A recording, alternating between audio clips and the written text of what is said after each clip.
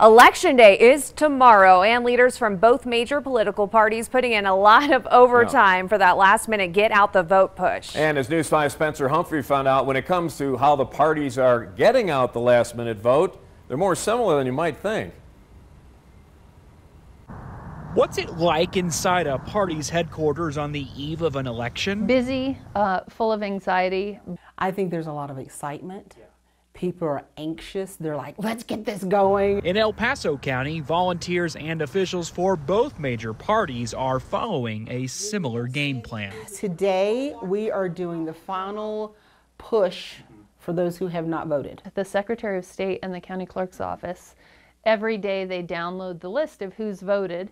And so we upload that list of who has not voted and we contact those people. We have someone here making phone calls for us. It means a lot of reaching out. So we're making phone calls, we're doing text messaging, we're uh, knocking on doors still. This year in particular, it means a lot of typing. So text messaging, and I'm sure if you have a phone, you've probably gotten at least one voter text message. and then this lady is making phone calls. For, for every outgoing call, it also seems like there's one incoming. Uh, I think the, the majority of our questions are around is it safe? Right and and are about how are, how do we know that our ballots been counted? Some people have called and said they haven't gotten their ballots yet. Uh, some people are out of town, so trying to get them to the right people because a lot of people think that we're the ones that collect the ballots.